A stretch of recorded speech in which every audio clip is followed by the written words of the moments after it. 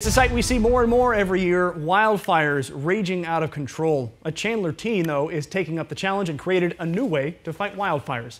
It's earned her a $10,000 invention award. Team 12's Trisha Hendricks caught up with her to find out what inspired her drone creation and how she hopes it will change the world.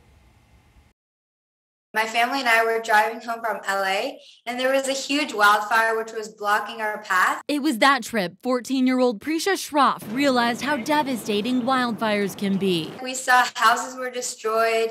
Um, friends had to evacuate their homes, and the air pollution was so bad that we couldn't even step outside. The experience inspired her to set out to find a solution to prevent wildfires, and she did just that. Take satellite and meteorological data from NASA and NOAA to predict hotspots. The system then sends a drone to the location to spray fire retardant to prevent the wildfire. Right now, it's like um, prototype. I'm hoping to make it so that we can also notify the fire department as well. Prisha's system led her to win the Broadcom Leadership Award during the Broadcom Masters competition. It's the nation's premier middle school STEM competition put on by the Society for Science. Prisha also won the $10,000 Lemelson Award for invention for creating a promising solution to a real world problem. I was like, um, it was just like I was in shock. I was really grateful though for the entire like society staff for putting on that amazing event, and then also to my family for helping me. From here, Prisha plans to put the money toward her future in college education with big plans. I want to make my solution even better so that way I can um, use it like